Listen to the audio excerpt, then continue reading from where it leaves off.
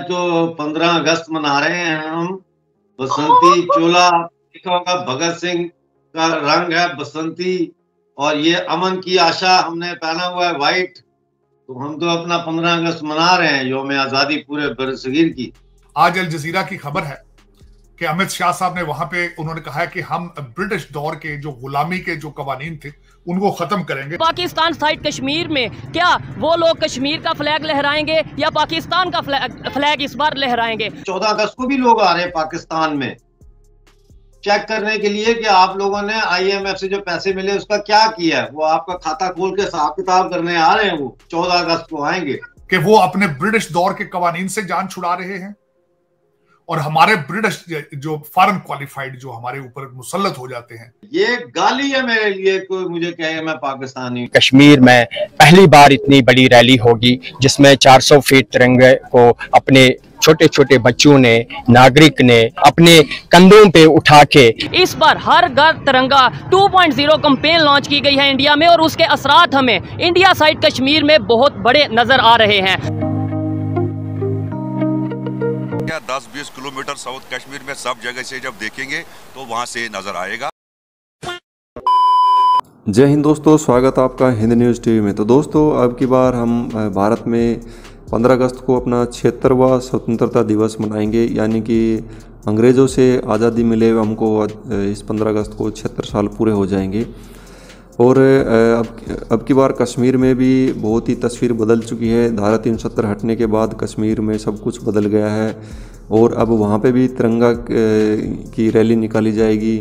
खासकर स्कूली बच्चों द्वारा जगह जगह तिरंगा की रैली निकाली जाएगी और जगह जगह तिरंगा फहराया जाएगा। अब की बार और भी ज़्यादा उत्साह से स्वतंत्रता दिवस मनाया जाएगा। अब की बार भारत में हर घर तिरंगा का ये 2.0 वर्जन होगा।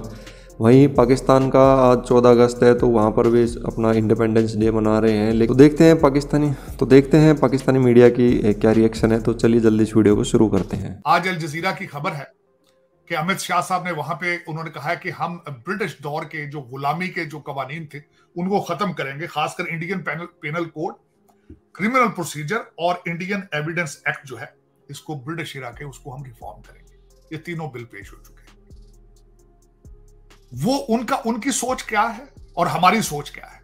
आपकी असेंबली ने कानून बनाया, अभी असेंबली को चंद घंटे हुए निकले हुए, पीछे से वार कर दिया गया है। तो ये मैं अपने जो ब्रिटिश रॉयल जस्टिस जो है हिज हाईनेस उनसे पूछना चाहूँगा कि आगे जा रहे हैं कि हम पीछे जा रहे हैं? इसको इसको डिफाइन कर दें प्लीज़ अगर इजाज़त हो आपको टाइम आपको मिले सियासी सरगर्मियों से तो आप इसको भी बता दें कि हम आगे जाएँगे या पीछे जाएँगे। अब इसका भी कंपैरिजन कर लें कि वो अपने ब्रिटिश दौर के कवानीन से जान छुड़ा रहे हैं और हमारे ब्रिटिश जो फॉरन क्वालिफाइड जो हमारे ऊपर मुसलत हो जाते हैं, जिस तरह मैं हमेशा कहता हूँ, दो ग्रुप है। हम हम आज़ाद चौदह अगस्त आने वाला है। मैं बल्कि एक प्रोग्राम करूँगा प्रूव करूँगा कि आप किस तरीके से हम आज भी गुलाम हैं, हम आज़ाद नहीं आपने किस तरीके से पाकिस्तान सिर्फ़ फाइलों में बनाया है?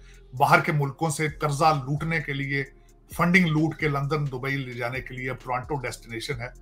सिर्फ़ वो एक ड्रामा बनाया है। आपने, मेरे ख्याल पाकिस्तान का सिर्फ़ ऑब्जेक्टिव यही था कि दूसरे मुल्कों को लूटना किस तरह है। तो मैं वो उसके चौदह अगस्त पे बल्कि मैं अपना रोना रोऊँगा कि हम आज़ाद क्यों नहीं है आज।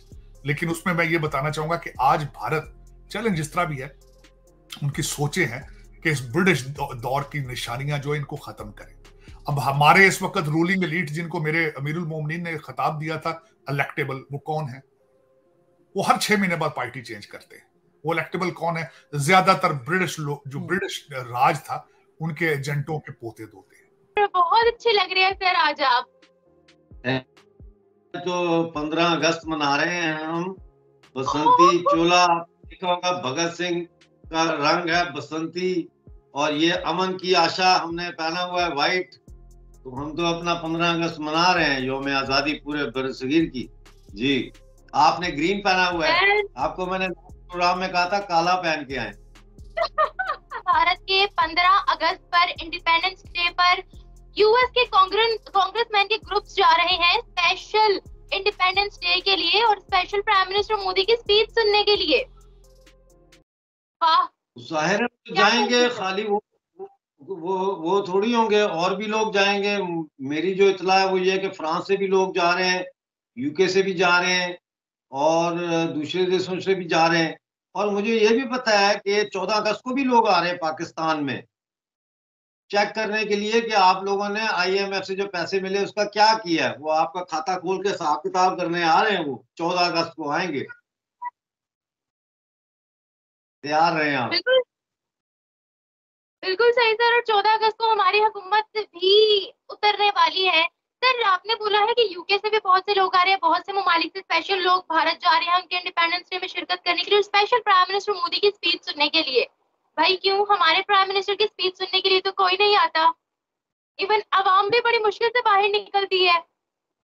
देखिए अगर आप मोदी जी की पुरानी तकरीरें सुने पुरानी से मैंने मतलब जो इससे पहले की हुई है उन्होंने कई तकरीरें उनकी, जैसे जी ट्वेंटी के इजलास में उन्होंने की यूनाइटेड नेशन जनरल असम्बली से उनका खिताब है, और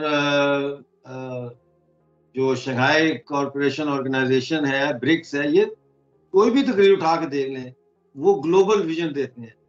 वो एक ब्रॉड परस्पेक्टिव की बात करते हैं, वो कनेक्टिविटी की बात करते हैं, वो कोऑपरेशन जो है, ग्लोबल कोऑपरेशन की बात करते हैं। पाकिस्तान क्या बात करता है? कश्मीर कश्मीर कश्मीर। और कर क्या रहा है पाकिस्तान? आपको पता है पाकिस्तान के प्राइम मिनिस्टर को कहा गया है कि तुमने 14 अगस्त को कोई छुट्टी नहीं देनी किसी सरकारी दफ्तर में। सारे लोग दफ्तर में आएँगे। दफ्तर के ऊपर पाकिस्तान का झंडा लगेगा और सब सलामी देंगे उसको। यार, ये कहाँ का इंसाफ है? एक मुतनाज़ा इलाका है। एक तरफ़ आप कहते हैं कि ये आज़ाद कश्मीर है, उसका अपना झंडा है। आप कैसे किसी दूसरे मुल्क के ऊपर, दूसरे मुल्क का झंडा लगा लगा सकते हैं और फिर हमें ये फोर्स करें कि हम उसको सलामी दें? आज मुझे कितने मैसेज आए उन्होंने कहा, जी, हम तिरंगा लेके जाएँगे। और मैंने उनको कहा, खुदा का वास्ता, बाबा, ये काम मत करना, अभी तिरंगा लगाने का टाइम नहीं आया, पकड़ के उठा के ले जाएँगे। मैं आपको बताऊँ, कल की खबर, मुजफ्फराबाद में हमारे चार लड़कों को इतना मारा उनको कि जिसका हिसाब नहीं। क्यों? उन्होंने फेसबुक पे लगा दी पोस्ट। बच्चे है ना हारमोन्स होते हैं। अठारह, सतारह, अठारह, उन्नीस साल के। तो उन्होंने लगा दी कि हाँ झंडा लगा के दिखाओ, झंडे का डंडा निकालेंगे और फिर डंडे के साथ हम ये करेंगे। तो उनको उठा के लेके मारा। उसके बाद उनको फोर्स किया कि तुम पोस्ट डालो। उन्होंने फिर पोस्ट डाला। ग्रीन वो बैकग्राउंड दे के ऊपर पोस्ट डाली। नहीं नहीं, हम तो पाकिस्तानी हैं और हम इलाके पाकिस्तान के हामी और ये और ये तो चल रहा है वहाँ पीओजे में। तो दोस्तों, ये थी आज की वीडियो और इस 15 अगस्त को हम अपना छिहत्तरवा स्वतंत्रता दिवस मना रहे हैं और सभी लोगों से अपील की गई है कि वो अपने घर में एक तिरंगा कम से कम लहराएँ और ये हर घर तिरंगा का 2.0 वर्जन है और अब की बार और भी ज़्यादा उत्साह से स्वतंत्रता दिवस मनाया जाएगा।